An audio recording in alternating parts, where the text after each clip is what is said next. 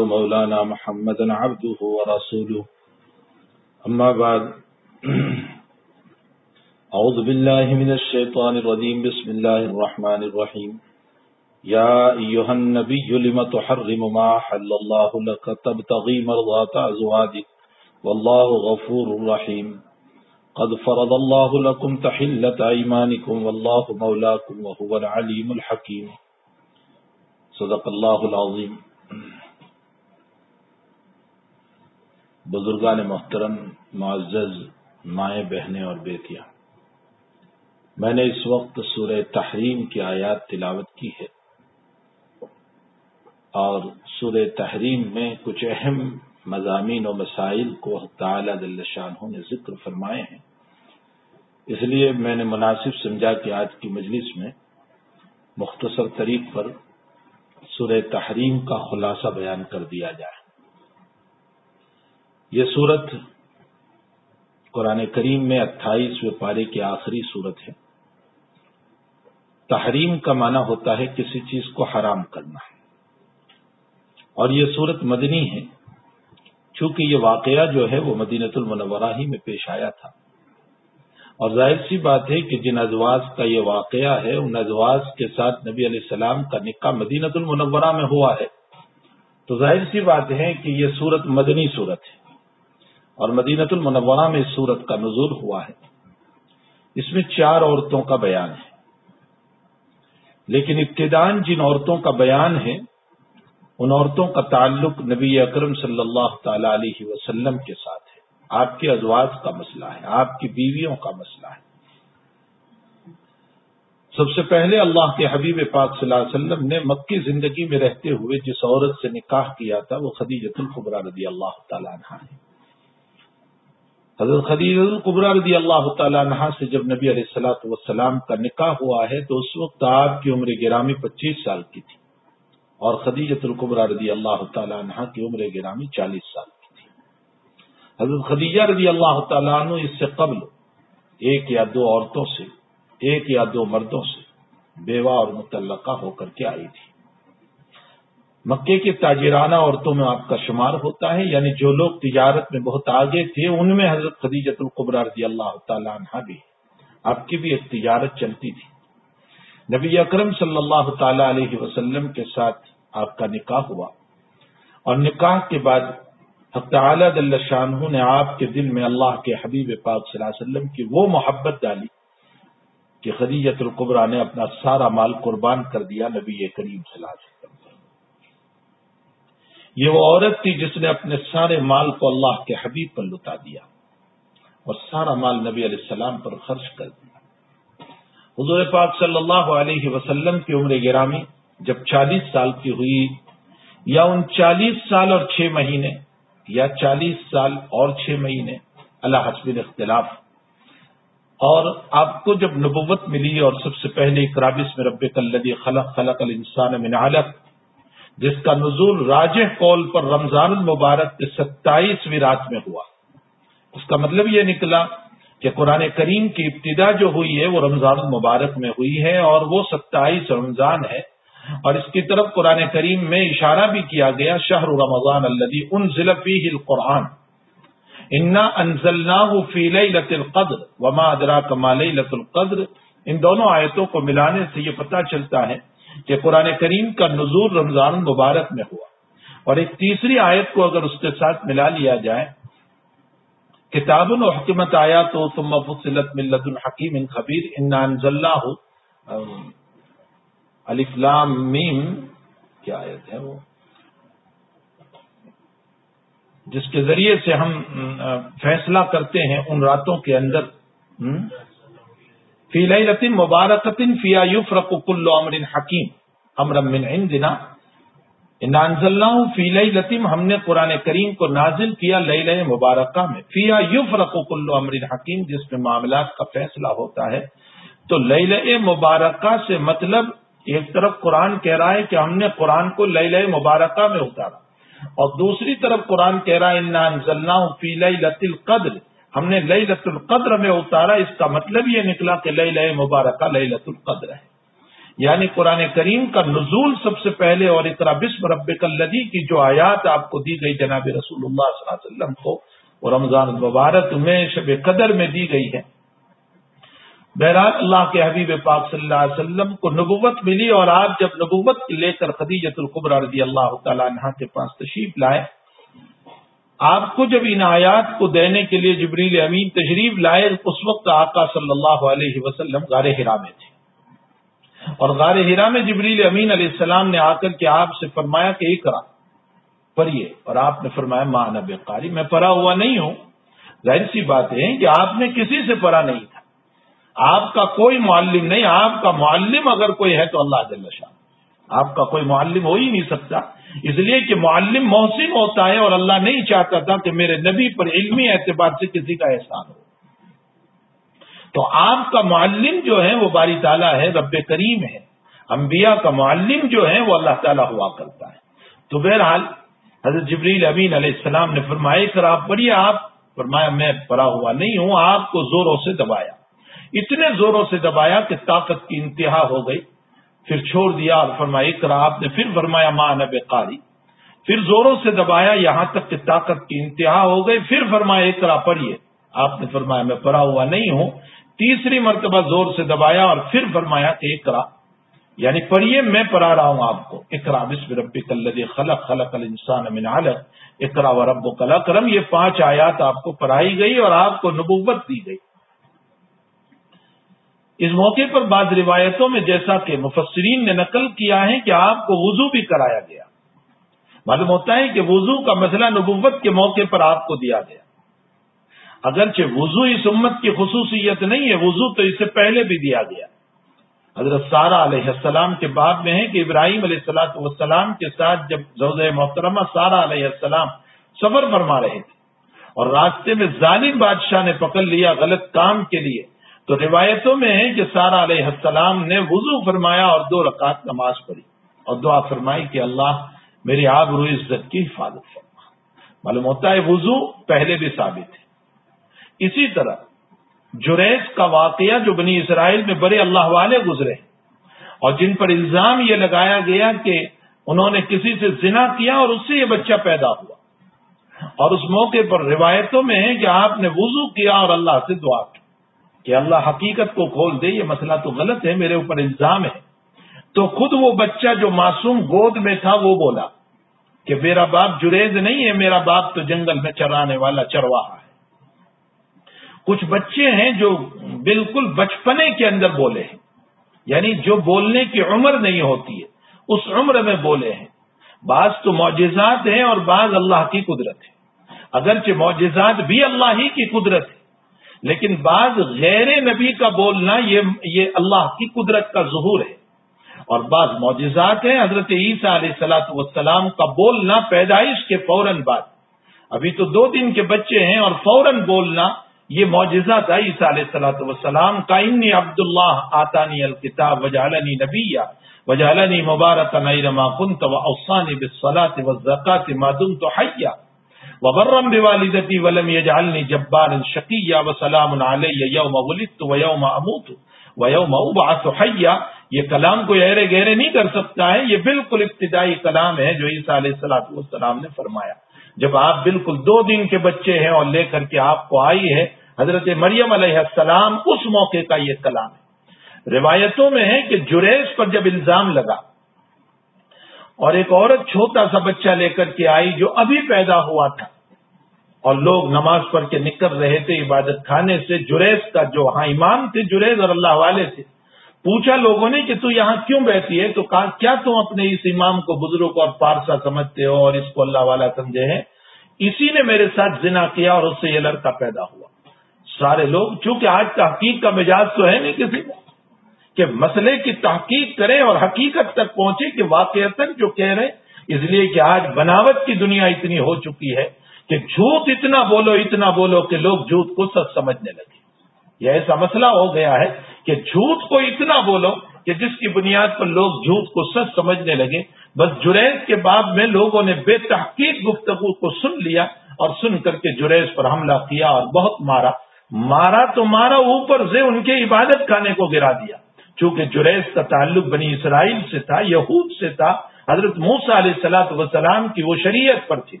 बड़े अल्लाह वाले जाहिद और आबिद थे। इबादत खाना भी गिरा दिया। जुरैज ने वज़ू किया और दो रकात नमाज़ पर के अल्लाह से दुआ की कि अल्लाह मसला खोल दे, ये तो गलत इल्ज़ाम है।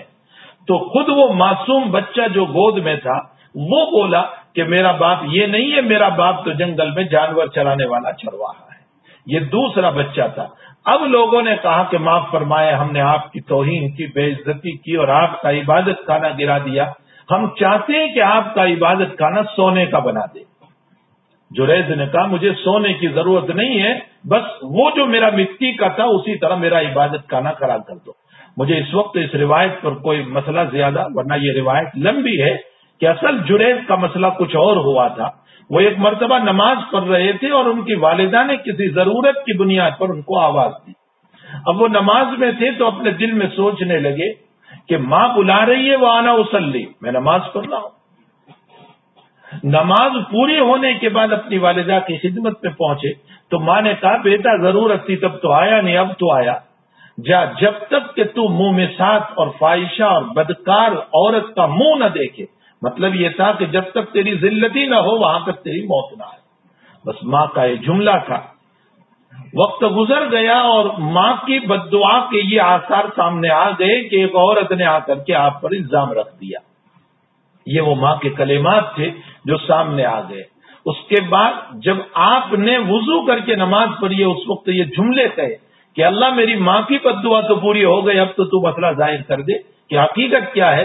तो ताला ने वो मसला ज़ाहिर किया और बच्चा ही बोल पड़ा। यहाँ से ये मालूम होता है कि माँ की इतात बहुत बड़ी चीज़ है। माँ बाप की फर्मा बरदारी बहुत बड़ी चीज़ है।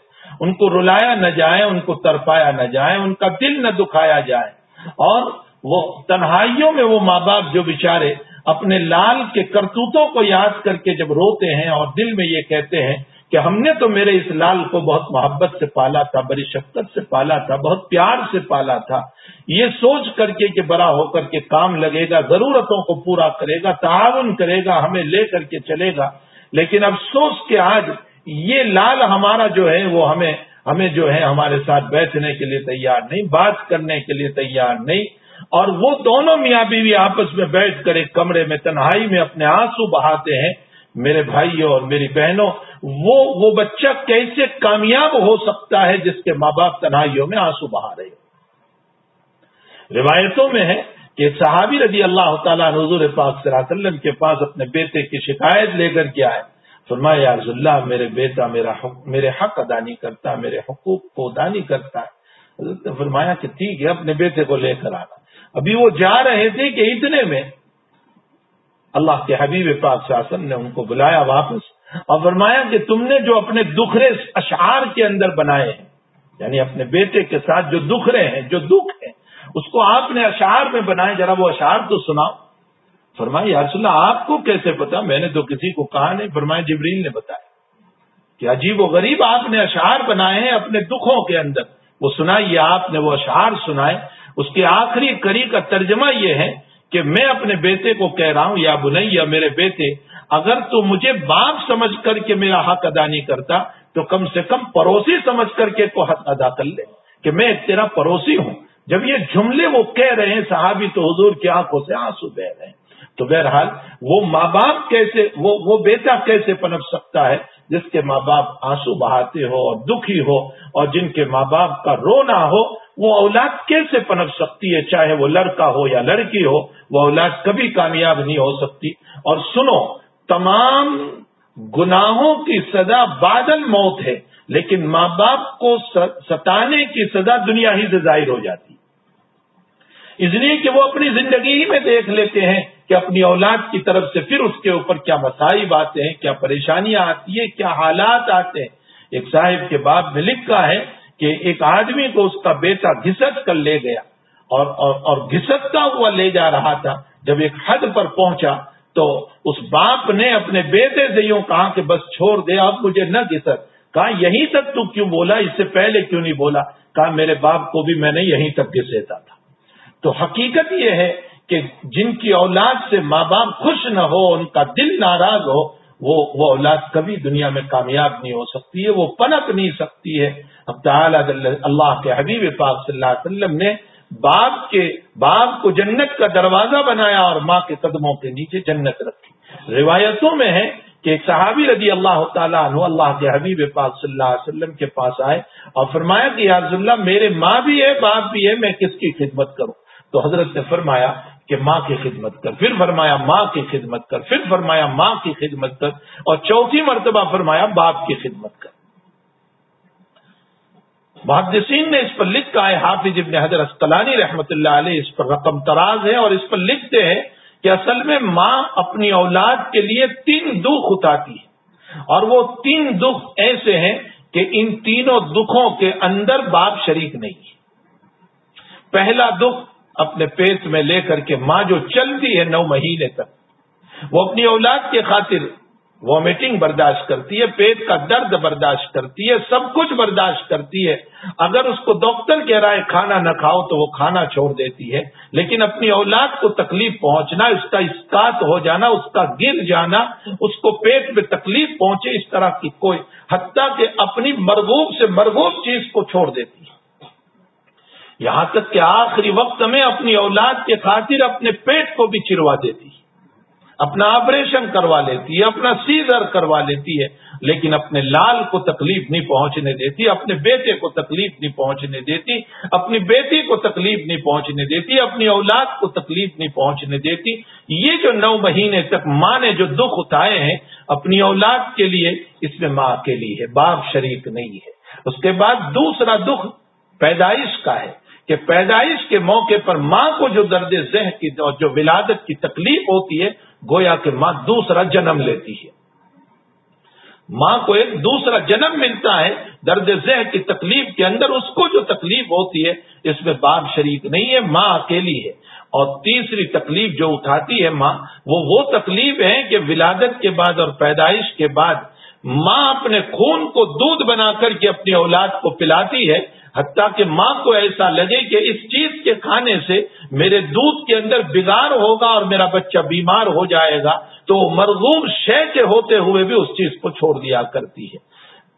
ये तीन दुख वो हैं और तीन तकलीफें वो हैं जिसमें माँ के साथ कोई शरीक नहीं है, माँ अकेली है, इसलिए नबी करीम सल्लल्लाहु अलैहि वसल्लम ने माँ का तीन मरतबा नाम लिया। और चौथी मरतबा, बाप का लिया। वजह उसकी ये है कि बाप के जिम्मे तालीम ताल्लुम और तरबियत है। और अब तालीम और और तरबियत की ज़िम्मेदारी जो है, वो बाप की हुआ करती है। इसलिए नबी करीम वसल्लम ने चौथी मरतबा बाप का नाम लिया। लेकिन हज़रत ने लिखा है कि जैसे माँ के फजाइल हैं, वैसे बाप के भी फजाइल हैं। माँ के फजाइल अपनी जगह मुजल्लम वहाँ बाप के भी फजाइल है। अगर रिवायात में और कुरान करीम की आयात में अगर गौर किया जाए तो हकीकत यह है कि जहाँ माँ के फजाइल बयान किए गए, बाप के फजाइल भी बहुत ज़बरदस्त बयान किए गए। माँ के फजाइल में अगर ये कहा गया कि उसके पाँव तले जन्नत है तो दूसरी तरफ़ नबी अकरम सल्लल्लाहु अलैहि वसल्लम इरशाद फरमाते हैं रिजर रब फिर रिजल वालिद, व सखत रब फिर सखत वालिद। अल्लाह तब राज़ी होगा जब बाप राज़ी होगा। और अल्लाह नाराज़ होगा अगर बाप नाराज़ है। आप इन दोनों रिवायतों में गौर करें कि माँ के लिए तहतल कदम बयान किया गया, यानी नीचे, माँ के कदमों के नीचे जन्नत है। लेकिन बाप का मकाम जब नबी सलाम बयान फरमाते हैं तो बुलंदी और रुबूबियत के साथ बयान किया गया। कि रब की रजा बाप की रजा में और रब की नाराज़गी बाप की नाराज़गी में बुलंदी की तरफ़ इशारा हुआ। मालूम यह होता है कि बुलंदी और फौकियत अपनी जगह मकाम रखती है। सिर्फ़ माई के फजाइल और बाप के मनासिब और फजाइल को बयान न करना, यह हकीकत यह है कि शरीयत ईसवीयत का ताल्लुक है। ईसा सलात वसलाम की चूँकि वालिदा है आपके बाप नहीं है ईसा सलाम के, सिर्फ़ उनकी वालिदा है। इसलिए उनके मानने वाले सिर्फ़ माँ के फजाइल को बयान करते हैं, बाप के मनासिब और फजाइल को बयान नहीं करते। तो जो सिर्फ़ माँ के फजाइल और मनासिब को बयान करते हैं, वो तरीके ईसवियत के ऊपर जा रहे हैं। और हम जिस रसूलुल्लाह सल्लल्लाहु अलैहि की इत्तेबा कर रहे हैं जिसका फॉलो कर रहे हैं, जिसकी फरमाबरदारी कर रहे हैं, जिसके नक्शे कदम पर चल रहे हैं, उनके वालिद भी है, उनकी वालिदा भी है। आपके वालिद के मनाकिब भी है, आपकी वालिदा के मनाकिब भी है। दोनों अपनी जगह मुसलम है, इसलिए हम जिस नबी के फॉलो आवर है और जिस नबी की इतबा कर रहे हैं, हमारे तो बाप भी है, आका सलाम के और माँ के भी है, इसलिए हमारे वहाँ दोनों का मकाम होगा। इसीलिए आप चले जाएँ यूरोप के ममालिक में, जहाँ मज़हब ईसाइत चलता है। और ईसा सलाम के मानने वाले हैं, वहाँ औरतों ही को गलबा दिया जाता है, हर मसले के अंदर मर्द का कोई गलबा नहीं होता। हत्या के कोर्ट भी जो है, वहाँ औरत ही की तरफ़ रागिब होती है, बच्चे उसी को दिलाए जाते हैं, मकान उसी को दिलाया जाता है। हत्या के मकान अपना होते हुए भी शोहर को घर से निकाल दिया जाता है, इसलिए कि वो वो शरीयत ईसवी के मुताबिक चलते हैं। और हम जिस रसूल सल्लल्लाहु अलैहि वसल्लम का फॉलोवर है उनके बाप भी है, उनके माँ भी है, इसलिए हमारे वहाँ दोनों के फजाइल और मनाकिब होंगे। इसीलिए वो कहा ने मसला लिखा है कि अगर कोई काम करना हो औलाद को तो बाप से मशवरा करे और माँ से दुआएँ ले। बाप से मशवरा करें, अपने बाप से मशवरा करें कि मैं ये काम करना चाहता हूँ, बाप आपको सही राय और मशवरा देंगे और माँ से दुआएँ ले कि अम्मी मैं ये काम करने जा रहा हूँ, आप मेरे लिए दुआ फरमाए। बहरहाल, शरीयत मोहम्मद रसूलुल्लाह में बाप के भी फजाइल है और माँ के भी फजाइल है। बहरहाल जुरेज का जो वाकया हुआ, उसमें माँ ने बुलाया। वो नमाज़ में थे। हकीकत ये है कि उनकी शरीयत में बहुत मुमकिन है कि नमाज़ में बुलाएँ और जाना जायज़ होगा अल्लाह आलम। हमारी शरीयत का मसला ये है कि हमारी शरीयत में अगर हम नमाज़ पढ़ते और हमारे माँ और बाप बुलाएँ तो फुकाहा ने मसला लिखा है कि अगर माँ बाप बुलाएँ और उनको पता है कि हम नमाज़ पढ़ रहे हैं, उसके बावजूद अगर बुलाएँ तो इसका मतलब ये निकला कि कोई ज़रूरी अहम अमर पेश आ गया है, इसलिए नमाज़ तोड़ दें और उनके लिए चले जाएँ। लेकिन अगर उनको पता नहीं है कि हम नमाज़ पढ़ रहे हैं तो इस सूरत में अपनी नमाज़ को मुख्तसर कर दें, लेकिन पूरी कर दें और उसके बाद जाएँ बहरहाल अगर नमाज़ तोड़ दी है तो इस सूरत में उस नमाज़ के ऊपर बिना नहीं हो सकती असर नव नमाज़ को पढ़ना पड़ेगा। यानी नए सिरे से नमाज़ को पढ़ना पड़ेगा।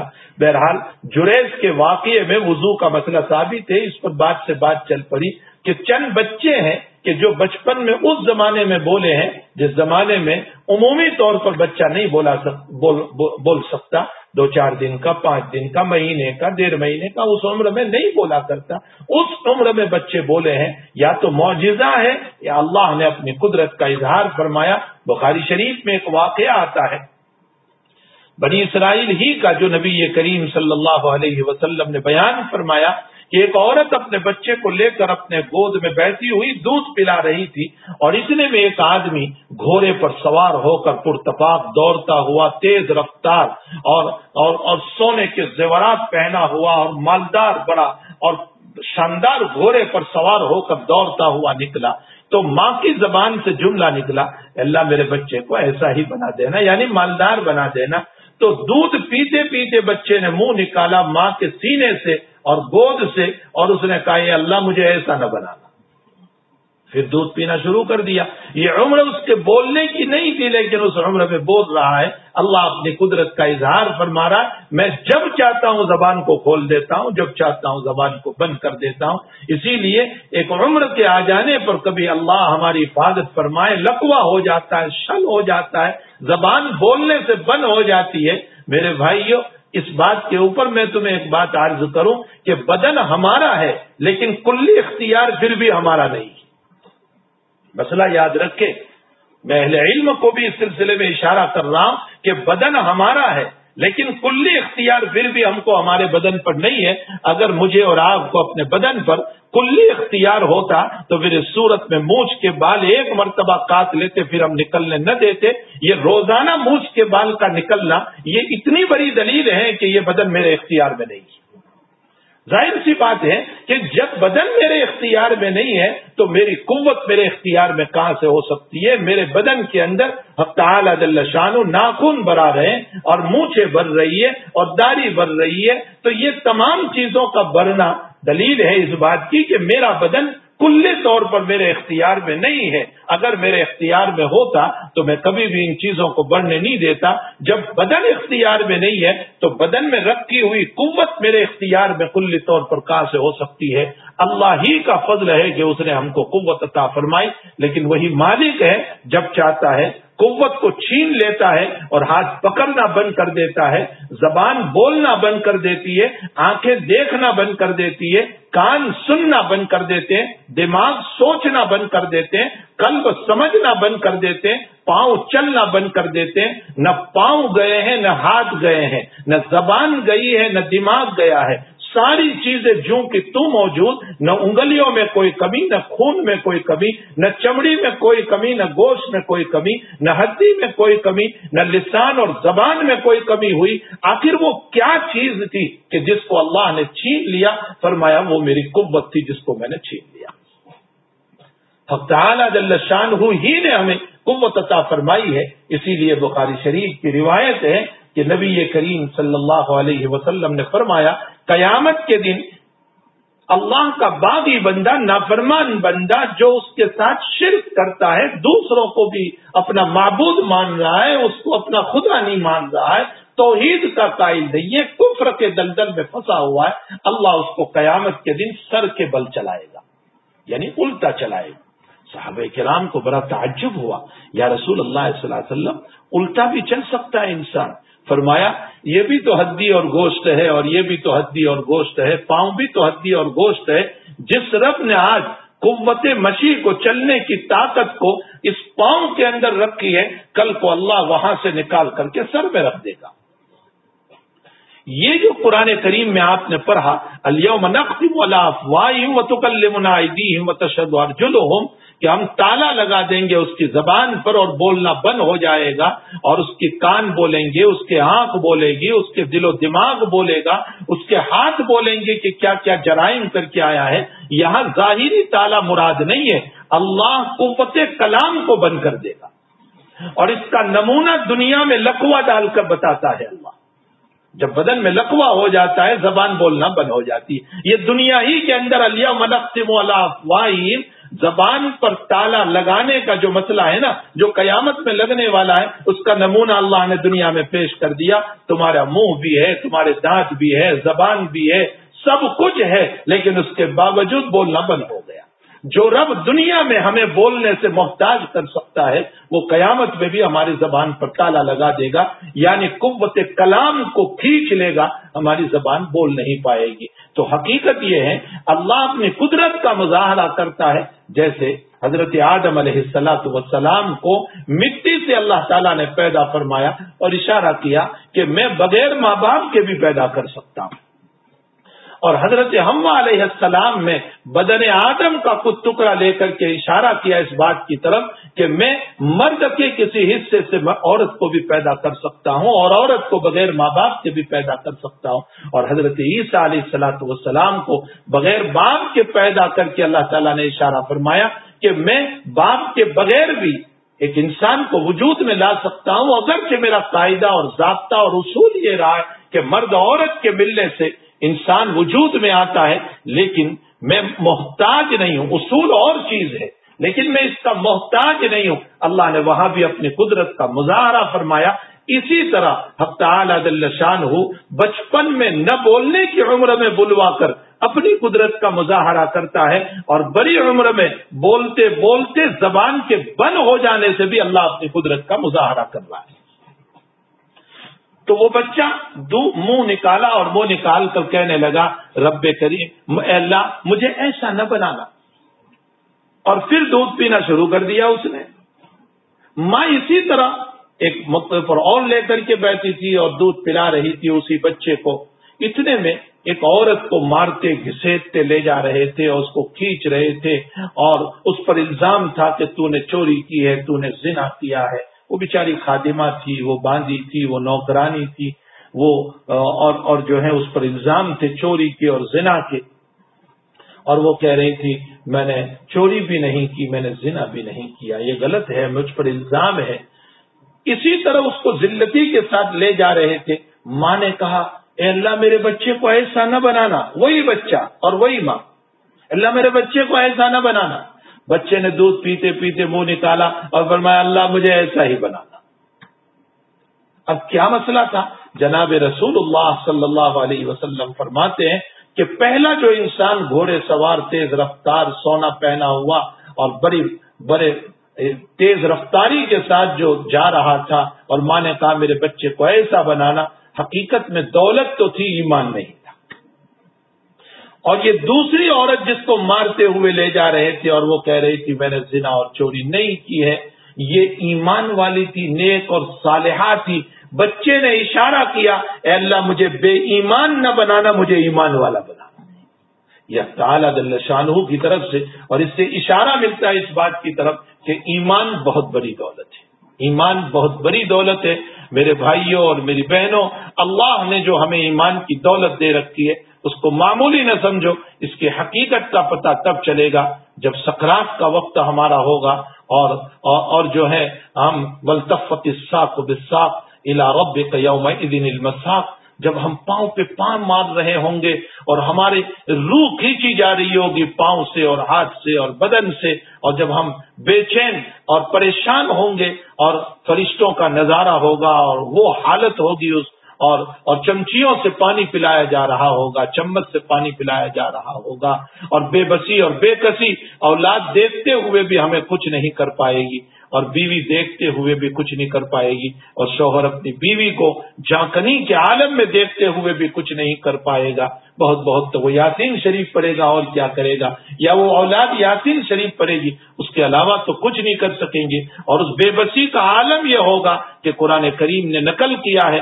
वकील अमन, रात है कोई रुकिया पड़ने वाला कि दवाएँ तो कारगर नहीं हुई और कोई दवा मेरे ऊपर जो है असरअंदाज नहीं हो रही है कि जो मुझे बचा ले। अब किसी रुकिया पड़ने वालों को किसी तावीज वालों को और किसी झाड़ फूक वाले को बुला लो ताकि उसके ज़रिए से मुझे नजात मिल जाए। लेकिन जब जाकनी का और सकरात का वक्त होता है उस मौके पर न रा, न, न, न और रुकिया करने वाला हमें बचा सकता है न दवा बचा सकती। है उस आलम में अगर हमारे पास ईमान होगा तो उस ईमान की वजह से रब करीम और मौला की तरफ़ से अपने अपने पालनहार की तरफ़ से, अपने मुरब्बी की तरफ़ से जब हमें खुशखबरी का ये पैगाम मिलेगा कि इर्जा रब के राजियत मर्जिया, आजा मेरे बंदे, आजा, मैं तुझसे राज़ी तो मुझसे राज़ी इर्जा रब अपनी रूह से, हमारी रूह से अल्लाह कहेगा, आजा मैं तुझसे राज़ी तो मुझसे राज़ी, सारी ज़िंदगी तूने मेरी रजामंदी के ऊपर, इस दुनिया के अंदर अपने अयाम को, अपने महीनों को, अपने सालों को गुजारा, तेरी रातें भी मेरी रजामंदी पर गुजरी। राबिया बसरिया रहमतुल्लाह यहाँ के बाप में आता है कि रात भर इबादत करती थी और फजर के वक्त यूँ कहती थी, मौला, तूने सुबह क्यों कर दी? मुझे जो तुझसे बात करने में मज़ा आ रहा था। यही वजह है कि राबिया बसरिया रहमत के वफात के बाद किसी ने खाब में देखा, पूछा, अम्मी, क्या हाल हुआ आपका? कबर में जाने के बाद। फरमाया, बेटी, खादिमा थी वो जिसने खाब देखा। फरमाया, बेटी मैं जब कबर में पहुँची तो फरिश्ते आए बनकर नकीर मेरे सवाल के लिए और मुझे सवाल किया मन रब्बों का? तो मैंने पूछा, मैंने आए ना जी तुम तुम कहाँ से आए हो? उन्होंने कहा, मैंने समा, हम आसमान से आए। तो कहा अच्छा तुम इतने दूर से आए और अल्लाह को नहीं भूले तो मैं पाँच फीट नीचे आकर अपने रब को भूल जाऊँगी फरमाया, मेरे इस जवाब पर वो वापस हो गए तो ये ये जब ही हो सकता है मन रब का के बाद में जवाब, जबकि दुनिया में हर वक्त रब रब रब रब, अल्लाह अल्लाह अल्लाह। नमाजों में अल्लाह, ज़िक्र में अल्लाह उठते बैठते अल्लाह, नमाजों के बाद अल्लाह, अल्हम्दुलिल्लाह रब्बिल आलमीन सुबहान अल्लाह रब्बिल अर्शिल अजीम अल्लाह व बिहम्दिही सुबहान अल्लाह अजीम, अस्तगफिरुल्लाह, हर वक्त उठते बैठते अपने अल्लाह को अगर याद करते रहोगे तो फिर मौत के मौके पर भी अल्लाह ही का लफ्ज निकलेगा और वफात के बाद सवाल पर भी अल्लाह ही का लफ्ज निकलेगा। और अगर हम इसी दुनिया में मस्त रहे और दुनिया ही के तस्करे तो हकीम अख्तर साहब रहमत ने अपनी निगाहों का खुद एक वाकया लिखा है।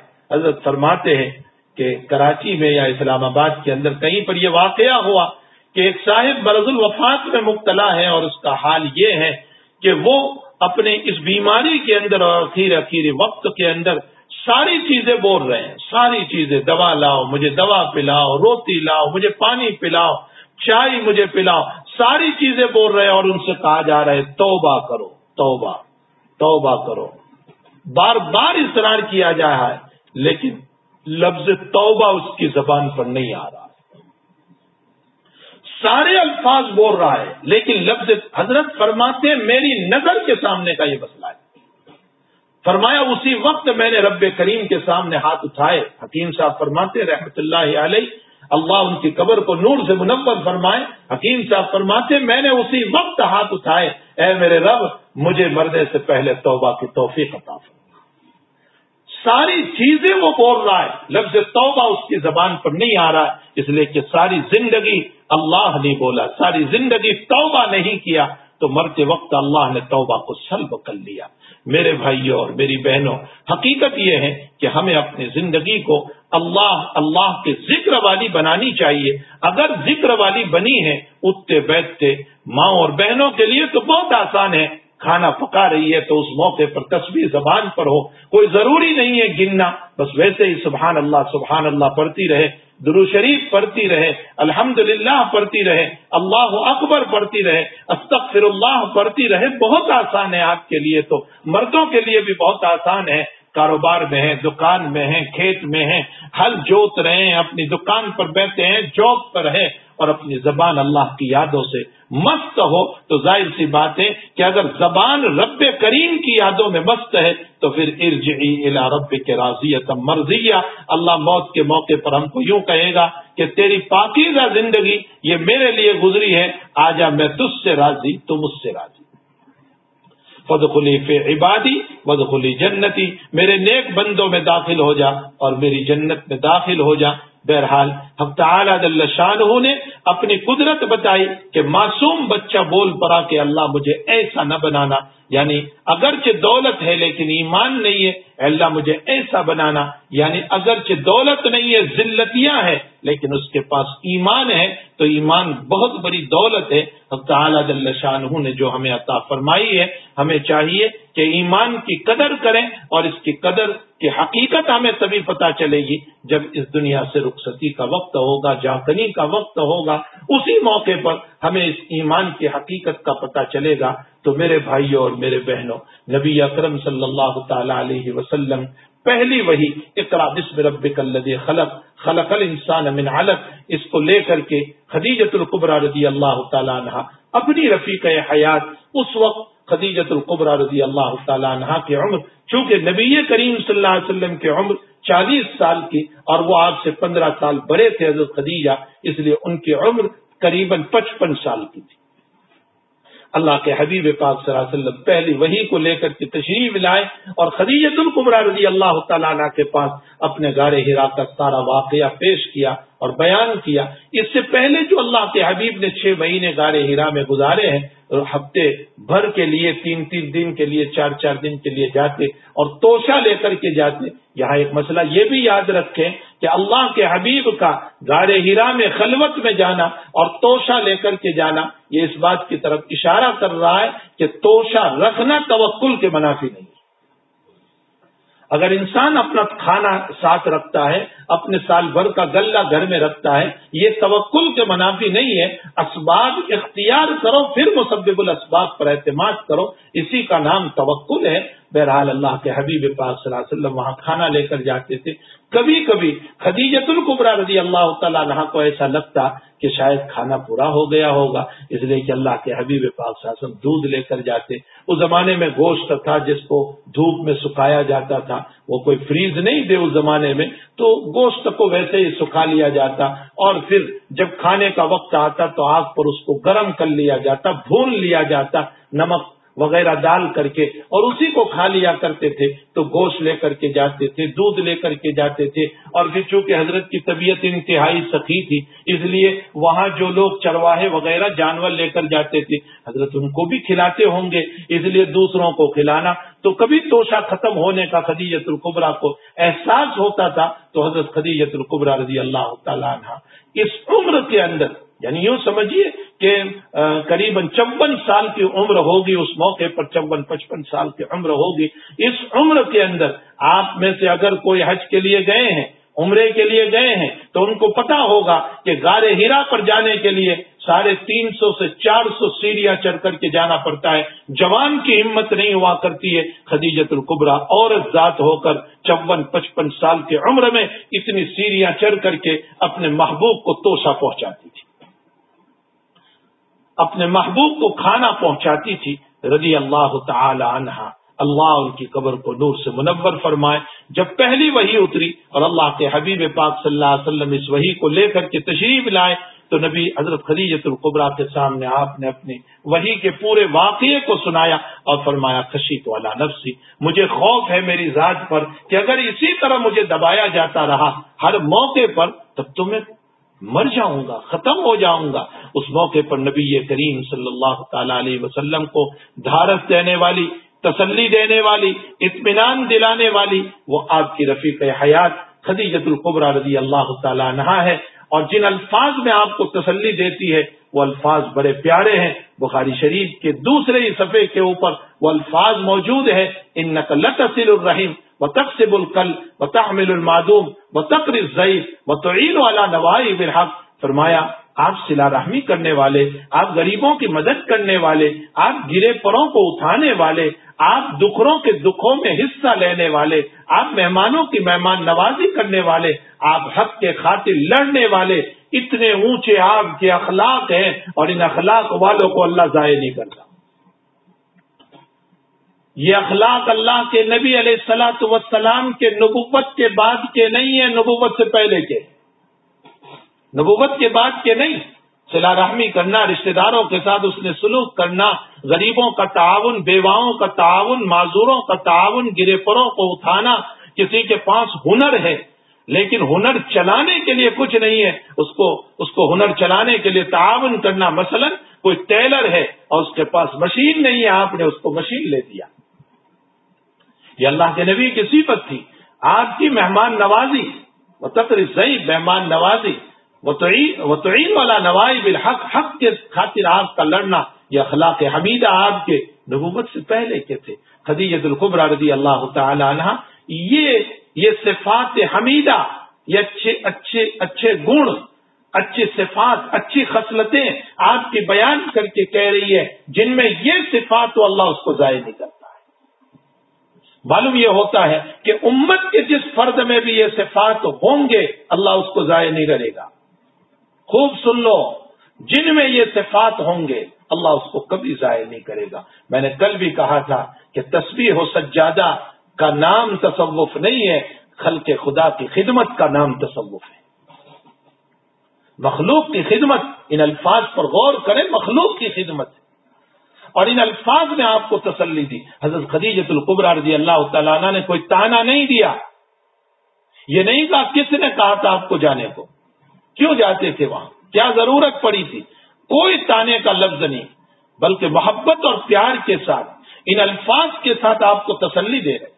और उस जमाने के आपके चचाजाद भाई वर्का इब्न नौफल के पास आपको ले जा रहे, इसलिए कि वो आसमानी किताब के आलिम थे। उनके पास ले गई खदीजतुल कुबरा रज़ी अल्लाह और फरमाया, अपने भतीजे से सुनो, ये क्या कह रहे हैं? और वरका ने सारी बात को सुनने के बाद कहा हाद नामो सुल्लती कदजा मूसा। ये वही फरिश्ता है जो मूसा सलाम के पास आया था, यानी ये वही है। और ये आपको नबूबत मिली। और वरका ने कहा कि अब आपके साथ दुश्मनियाँ होगी, जिलावतनी के मसाइल होंगे आपके खिलाफ साजिशें होगी। जब ये बयान दे रहे हैं वरका तो कभी उस मौके पर अल्लाह के हबीब ताजुब से पूछ रहे हैं, क्या ऐसा भी होगा मेरे साथ? यानी मुझे जिलावतन किया जाएगा, मुझे निकाला जाएगा। अब अमो खरीदी या हम, मुझे निकालेंगे। मेरे कत्ल की साजिशें होगी। फरमाया हाँ जो अल्लाह के दीन को लेकर उठता है, उसके साथ यही मामला होता है। आज भी मुसलमानों के साथ जो मसाइल है, उसकी बुनियाद ये है कि ये अल्लाह के दीन को लेकर उठे हुए इसी बुनियाद पर इनके साथ और कोई मसला नहीं। ये ला इलाहा इल्लल्लाह के कलमे को बुलंद करने वाले, ये मोहम्मद रसूलुल्लाह की सिफात को लोगों में उजागर करने वाले, इसी बुनियाद पर इनके साथ दुश्मनी है, वरना ये अपना खाते अपना पीते हैं, अपनी ज़रूरत अपने खुद पूरे करते हैं, किसी और से मांगते नहीं। उनके साथ ये दुश्मनी का मामला सिर्फ़ इस बुनियाद पर है कि जो दीन के परचम को लेकर उठता है, वो दूसरों से बर्दाश्त नहीं होता तो वरका ने कहा, जो भी दीन को लेकर के उठता है, उनके साथ यही मसला होता है। और वरका ने यह भी कहा, अगर मैं उस वक्त ज़िंदा रहा तो मैं तुम्हारी मदद करूँगा।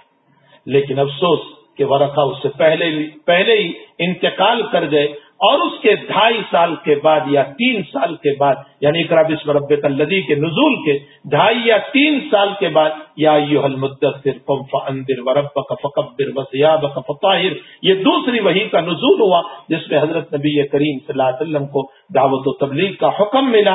अब आप जो आपने जो सुन रखा है कि मर्दों में सबसे पहले अबू बकर ईमान लाए, औरतों में खदीजतुल कुबरा रज़ी अल्लाह तला और बच्चों में हज़रत अली, और गुलामों में जैद, ये तकबीर के लिए सिर्फ़ कहा गया है, वरना असले उसूल अगर कोई सबसे पहले ईमान लाया है तो खदीजतुल कुबरा रज़ी अल्लाह सबसे पहले खदीजतुल कुबरा रज़ी अल्लाह तला आप पर ईमान लाई, आप पर जानिसार हो गई और अपनी दौलत को नबी के कदमों में लुटा दिया। अब ताला उनकी कब्र को नूर से मुनवर फरमाए, उनके दर्जात को बुलंद फरमाए। मुझे तहरीम के सिलसिले में कुछ कहना है, इसलिए मैंने मुकदमे के तौर पर, चूँकि सबसे पहले अजवाज मुतहरात का इसमें बयान है, इसलिए मैंने चंद तमहीदी बातें इंशाला कल भी मैं अर्ज़ करूँगा। अल्लाह शान हम तमाम को दीन मतीन पर चलने की तोफ़ी अता फरमाए, अपने ईमान की कदरदानी की तोफ़ी अता फरमाए और अपने ईमान को बचाकर ले जाने की, यानी मौत तक अपने ईमान को बचाकर ले जाने की अल्लाह हमें तोफ़ी अता फरमाए अमाल साल की तोफ़ी अता फरमाए। माल तो मेरे भाइयों, दौलत तो ऐसा है कि अलमाल राइन वगादिन सुबह शाम आने जाने वाला है। सुबह का गरीब शाम को मालदार हो सकता है, शाम का मालदार सुबह गरीब हो सकता लेकिन ईमान की हिफाजत बहुत ज़रूरी है। अगर ईमान बच गया तो इनशाला आखिरत बन जाएगी हमारी। अल्लाह हम तमाम को ईमान और अमाल सालहा वाली मुबारक ज़िंदगी अता फरमाए। वसल्ला नबी करीम। अभी अभी मुझे पता चला, मौलाना अब्दुल रहीम साहब सूरती, जो मेरे रफी के दर्ज भी है और हमने एक ही जमात में रांदेर जामिया हुसैनिया में पढ़ा था। मौलाना के बेटे का सना के आज इंतकाल हो गया है। अल्लाह ताला मरहूम की मकफिरत फरमाए, उनके दर्जात को बुलंद फरमाए। मुबारक महीना भी नसीब हुआ है मकफिरत वाला महीना भी नसीब अशरा नसीब हुआ है। और मौलाना को अल्लाह ताला सब्र जमील अता फरमाए और पसमानदगा को, सभी को, उनकी वालिदा को, उनके और भाई बहनों को अकारिब रिश्तेदारों को सब्र जमील अता फरमाए। ताला तमाम तरह के शुरू और फितन से हम सबकी हिफाजत फरमाए। बहरहाल इस रास्ते पर तो हम सभी को जाना है, कोई पहले जाता है, कोई बाद में जाता है। अल्लाह ताला तमाम मरहूमिन की मकफरत फरमाए। वसल्ला नबी करीम रहमत रहमीन। अलहमदिल्ला